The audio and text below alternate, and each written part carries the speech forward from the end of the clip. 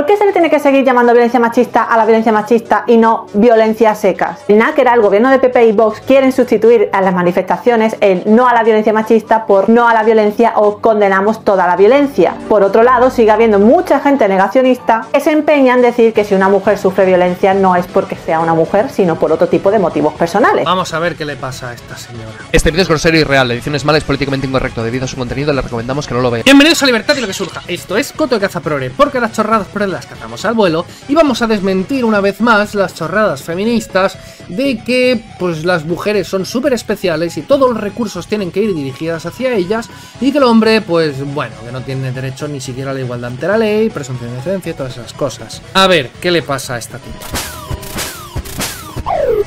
Y ojo con esta última parte de lo que os he puesto antes de... Sufre violencia no es porque sea una mujer, sino por otro tipo de motivos personales. Esto yo creo que es una referencia a Roma Gallardo, que puso una vez un tuit diciendo eso, ¿no? Que no es por hecho de ser mujer, sino por otros motivos.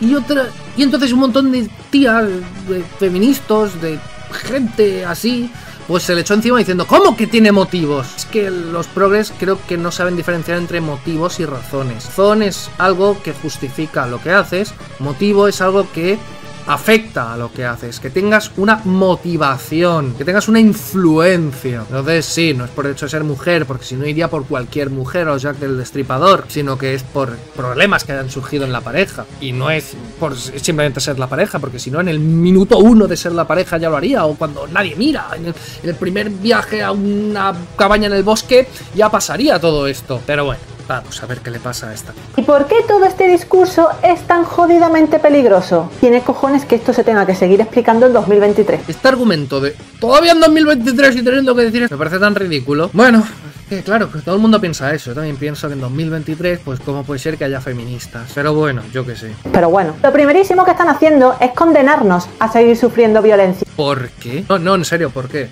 Necesito, ojalá que haya una explicación de esto. Espero que sí. O sea, a ver, a ver, a ver.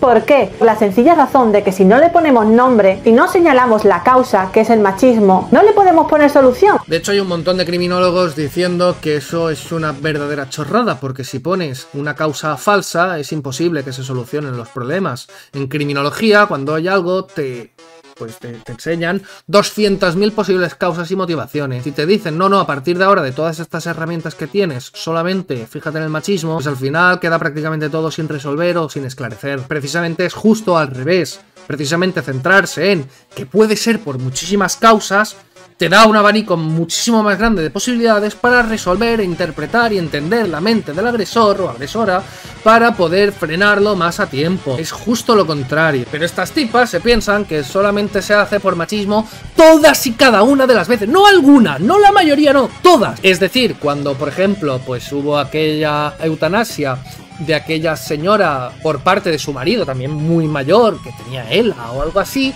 pues lo primero que hicieron las autoridades fue dirigirlo hacia la, pues, el juzgado de violencia de género, porque era un hombre que lo había, quitado la vida a su mujer por el hecho de ser mujer, porque era mujer y ya está, no hay otra posible causa. Y fue una situación en la cual estaba el hombre, pues diciendo por todas las televisiones Oye, es que voy a hacer esto pues porque tiene ELA y está sufriendo y ella incluso lo acepta y quiere eso. Y se grabó un documental y, salió la mujer diciendo, bueno, como podía, eso. Y, dijeron. Pues nada, es por el hecho de ser mujer. Y ya está. Y eso es criminología feminista. Y si piensas que absolutamente todo se hace por, por, ser mujer, pues es ridículo. Y es que además el número de agresiones de mujer a hombre y de hombre a mujer son las mismas. Se da por igual.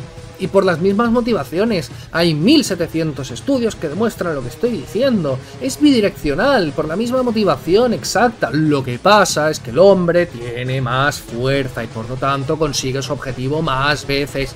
Ya está, solo es eso. Hay que entender de dónde viene, y viene de siglos y milenios atrás. Por ley hemos estado bajo la custodia de nuestros maridos hasta hace prácticamente nada. Las mujeres se nos ha considerado una propiedad del hombre. Se ha teorizado incluso con la ciencia que somos seres inferiores. Te puedes dar una vuelta por mi perfil donde te cuento que hasta Charles Darwin hizo esto. A ver, si tienes que explicar en tu perfil lo que estás defendiendo aquí, de que todo el mundo cree, significa que ya no todo el mundo lo cree. De hecho, poca gente piensa eso. De hecho, como precisamente es novedoso que tú lo expliques, significa que no está implantado en la sociedad. Que la gente vea esto y diga, anda, qué curioso, y no diga, claro, es lo que piensa todo el mundo, hace que tus vídeos tengan visitas. Si no, no las tendrían. No tiene ningún sentido. Eso es algo, pues, eh, de hace ya, ¿eh? De hace ya. E intentar explicar cosas del presente de chavales de 20 años con actitudes eh, del pasado no tiene sentido. Podrás decir que hay una reminiscencia o que algunos pueden ser afectados porque han tenido una educación muy del pasado y no han tenido suficiente influencia para vivir en un pueblo cerrado sin internet y...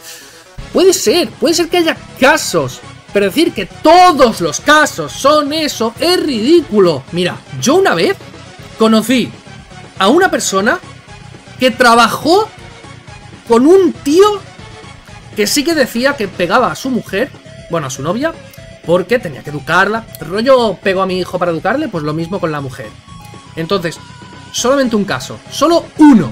¿Y me quieres decir que todos los casos son por esto? Es ridículo. Oh, es que no lo admiten.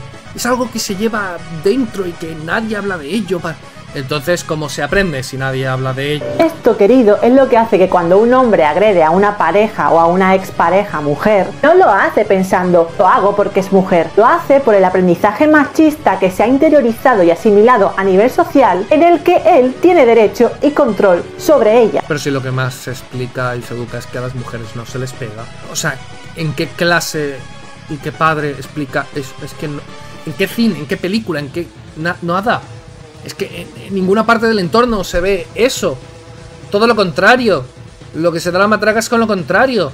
Con, el feminismo y demás, y lleva un montón de años. ¿Y en serio? ¿Es tu argumento de... Es que sin investigar ni nada, todos han recibido esa misma educación.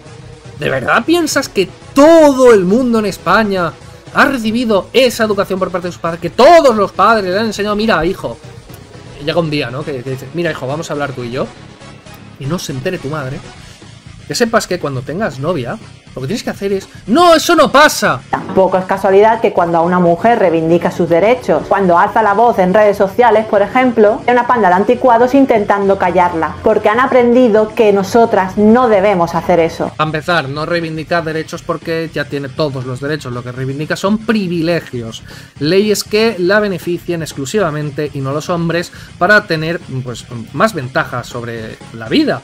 Entonces es lógico que quien tenga que encima pagar y ser relegado socialmente y políticamente, pues proteste. Es obvio. Si ahora, pues en un país, eh, los blancos se bajaran los impuestos y subieran a los negros, los negros se quejarían, pues dirían que es una ley racista. Sin embargo, si suben los impuestos a los hombres y los bajan a las mujeres, pues sería una ley feminista y todo el mundo contento y los hombres no tienen derecho a callarse. Esto es ridículo. Ser negacionista y no admitir que la violencia machista existe y que tiene ese nombre, también es violencia. Existe violencia machista.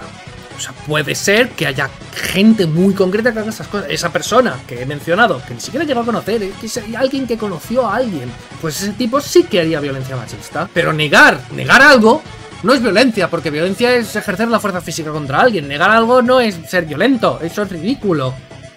¿Cómo va a ser violencia eh, ¿Qué? Y es odiarnos a las mujeres hasta tal punto de querer condenarnos a seguir sufriéndola unos cuantos siglos más. A ver, si una persona de verdad creyese que las mujeres solo sufren violencia por machismo y que quisiera no luchar contra el machismo solo por joder, entonces sí que tendría sentido lo que dices. Pero si una persona está convencida de que no existe eso, de que no es verdad lo que dices, y que las mujeres sufren violencia, pues igual que los hombres, por otros muchos motivos, y ese es su punto de partida, y lo que propone por lo tanto es no centrarse únicamente en el machismo, su intención es evitar violencia a las mujeres y a los hombres. O sea, tienes que crear un muñeco de paja enorme en el cual el antifeminista en el fondo se cree las cosas feministas y luego decir que no quiere aplicar las medidas feministas, o sea, solamente se lo cree, pero no quiere aplicar las movidas feministas por joder. ¿De verdad crees que hay alguien así? ¿De verdad crees que eso existe? No es verdad. Quien está en contra de estas medidas es en un 99,99% pues alguien que no cree esas medidas. Ni siquiera vamos a entrar en, ahora mismo en si son verdad o no. Independientemente de si fuesen verdad o no, si una persona no cree que eso sea por esa causa, no está siendo machista simplemente por aplicar algo para salvar a las mujeres en base a su lógica aunque esté equivocada. ¿No entiendes esto? Es muy simple, es muy sencillo. Si una persona equivocada propone una medida equivocada para salvar a las mujeres, no es misógina. Está equivocada, pero no es misógina. Tiene buenas intenciones. Saldrá mal, pero no es misógina. Por favor, feministas, aprended a razonar un poquito. Pero bueno. Madre mía. Muchas gracias a todos. Suscribíos. Un saludo y nos vemos.